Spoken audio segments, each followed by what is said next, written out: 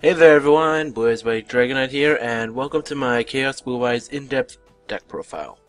Now, let's just get into it. Basically, I'm just going to go through the deck and tell you why I use the cards. Start off the back, three Blue Eyes White Dragons, because this is a Blue Eyes deck, and why would I not run three Blue Eyes? Sadly, I don't run Blue Eyes Ultimate Dragon, I just could not fit him in this deck, so if you're looking for that, sorry. Anyways, um, one BLS and one Chaos Sorcerer. I only run one Chaos Sorcerer because two is a bit too cloggy and creates hands like, say, you have this in your hand. It creates too many hands like this to where you need uh, your graveyard setup, but you just don't. So I only run one of them, and he works fine. Now, basically, you know what these two do. They banish, they're amazing, and kind of overpowered. Not really, but they're really good. So anyways, three Schwarzschild the Limit Dragon and one Parsec the Interstellar Dragon. Now, the for starters, we'll start with what the hell are these things? Now, basically, I was just looking for level 8 monsters that fit helped me with the Chaos build, and these really work well, because this, if your opponent has a monster with 2000 or more attack, which in this current meta they should, special summon this monster. Extremely easy to get out, and this one, if you have a level 8 monster, you can normal summon this without tributing. And you have 6 of these, 6 of these, and only one of these, so usually when you have this in your hand, you can get it out pretty pretty fast. Now I only play 3 of these and 1 of these because in my original build there was way too many lights, not enough darks, so I just needed to tip the scale a bit. Okay, since this is a dragon deck, I put Blaster and Tidal. Just because... Banish! yeah, that's about it. Now, two Light Pulsar and two Dark Flare. If I had to choose out of these two, like these two are basically run the deck because uh, Light Pulsar helps you set up your graveyard. You could also use this from your hand and graveyard, which I really love about this card. Dark Flare really helps you set up your graveyard with its effect. Take one card from your hand to the graveyard, from your deck to the graveyard, send Eclipse Wyvern, and a Blaster. It's just really good and they both have the same summoning summoning conditions as these guys, one dark, one light, and yeah. Also, Light Pulsar has the added effect that when he's destroyed, he can either special summon Dark Flare or Schwarzschild, which I really like. I always go for Dark Flare though because Dark Flare goes for all those extra plays. Anyways, three dra Black Dragon Collapserpent and White Dragon Wyverburster, two of them. Now, the reason why I have three and two is the same reason I have three and one. Just need a bit more dark in here, so yeah. These guys are basically easy. The banish one light, banish one dark, and when it's destroyed, they add the other to the hand. Really good, really good to just gain a bit more advantage on the board. Three Raiden because we really just want to mill to the graveyard. This deck is really dependent on the graveyard. Macrocosmos, D-Fissure just destroy this deck to the point where it's unplayable.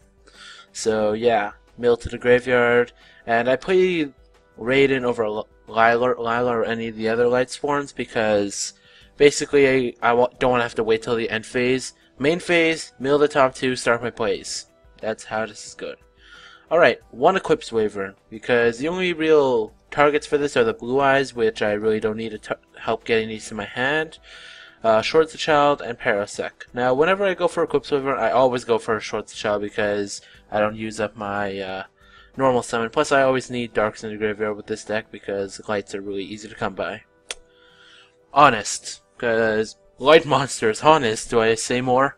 Two Curry Bandit, because, well, honestly, just mill, mill, mill, mill, and it helps me get one of my nine, no, yeah, nine traps, or traps, spell cards. So yeah, very good first turn play. Even halfway through the duel, he's a good card. Now, three white Whitestone Legend and only one Maiden. Now, this one thing I have to say about this deck is it's extremely aggressive, so Maiden really didn't fit in too often. One, because she's a spellcaster.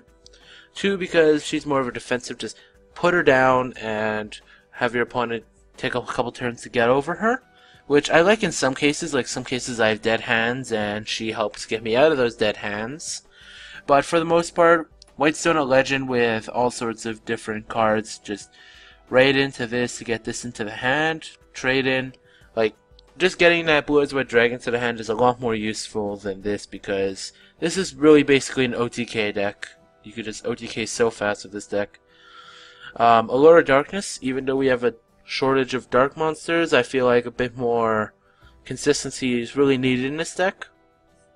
Get this Victory Bandit. Yeah. Now two trade-ins, and I actually play no cards of consonance because I only have, what, no, three targets for cards of consonance, so I wouldn't, no, I'm not playing that. So yeah, trade-in. I have one, two, three, four, five, six, seven, eight targets for trade-in, so yeah. I think two is a good thing. It's really helped the deck stay consistent, and with Whitestone of Legend, that, it really works. Foolish Burial, set up your graveyard. Charge of the Light Brigade, mill 3, grab a Raiden. Burial from a different dimension, we banish, gets those banishes back for more plays, and triple Silver Cry.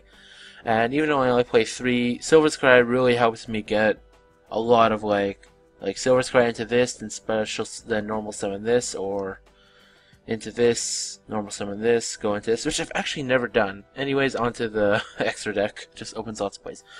Azure Silver Dragon. I have never once gone into this card. Never. Never. Because most of the time I either want to go for, like, either, wait, basically when I have level 8, I usually have another level 8. I'd rather go for my Xyz than this guy. So that's why I only play one of them. And I really want, like, if I was going to cut anything in the extra deck, it would probably be him. So yeah, it'd probably be him. But it's a Blue Eyes deck, and it just feels wrong to trash the Blue Eyes Synchro, so I kept them. Um, Crimson Blader and Stardust, my two level 8s. Out of the two of these, I extremely enjoy Crimson Blader because it helps stun a lot of decks. But like, depending on the situation, if you want to be a bit more defensive or a bit more offensive. This is how you do it, guys. If you're going offensive, Crimson Blader, destroy a monster, attack. If they have a bit of life points left, they can't really summon anything good next turn. And if you want to play defensively, like if you're just on your last ditch effort, Stardust is there. Goyo is Goyo. Armades destroys like a lot of different cards, like completely destroys like the flip effects well, not really destroys but negates the flip effects of Shaddolls, destroys the Yang Zing deck. The Yang Zing deck cannot function with this on board, so yeah.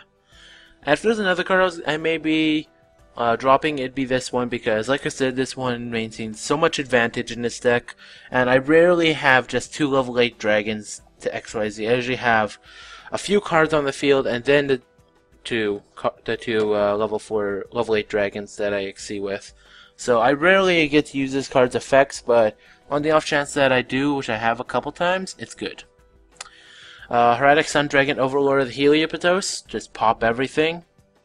Felgrand, Felgrand, and this is probably my favorite of the level 8s because really, if there's monsters that you can't destroy, just bring out this. It lets you actually get more graveyard in, excavate the top card of your deck, and destroy or not destroy, sent to the top or bottom of the deck. Really useful card. Now I play the one Big Eye because I play two the Dragon Rulers. I've gone into Big Eye a couple times. Uh, very good card. Uh, I play him over Dracossack because, I want, like I said, I want to be very aggressive with this deck. And if I had Dracossack, it would just take up too much board. Too much board. Uh, Bouncer because I have three level sixes there have been situations to where I was just like, like say it gets Veilored or Breakthrough Skilled or something like that, and you have a Chaos Ursa or another one on board, you can just Bouncer to make use of it. Though that's never happened to me, there have been situations before I put Bouncer in here that I would like that to have happened, so Bouncer is also another one that could be taken out. Onto the level 4s. Queen Dra Dragon Djinn. This is such a good card in this deck because basically like like mid to late game, this is insane because you just bring it on board, grab any of these monsters, special summon it, and even though it can't affect it, it can't use its effects and it can't attack. I usually just succeed with the cards, get another one out, and yeah, very good. 101, Volvo, and Exciting. Must I say more? So anyways, thank you very much for watching. This has been my in-depth look at my Chaos Blue Eyes deck. If you really like it, please subscribe, leave a like, comment, and tell me how I did. Anyways, that's all. Blue Eyes White Dragonite, out.